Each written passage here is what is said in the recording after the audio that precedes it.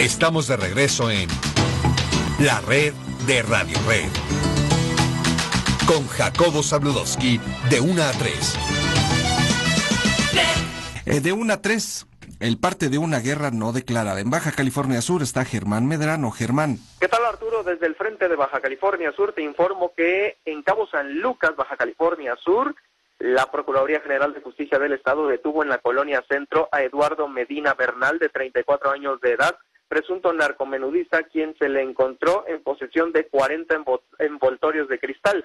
El arresto se logró cuando ministeriales realizaban una persecución de un auto polarizado sospechoso en recorridos por la calle Ignacio Zaragoza entre Niños Héroes y 16 de septiembre.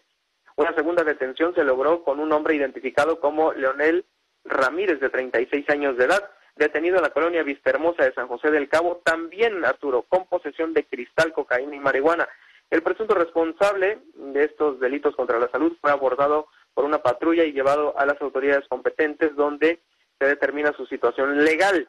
Mientras tanto, el gobernador del estado, Marcos Covarrubias, acordó con dependencias federales, estatales y municipales encargadas de la seguridad realizar diagnósticos quincenales en, eh, los cuadros policíacos, así como en las zonas que atienden, y realizar una constante rotación de comandantes, pues dijo que la tasa de criminalidad se ha disparado sobre todo en los delitos como el robo a casa habitación y el robo común, pero jamás, jamás habló sobre el también disparado número de ejecuciones y persecuciones, al igual que balaceras que se han presentado en Baja California Sur.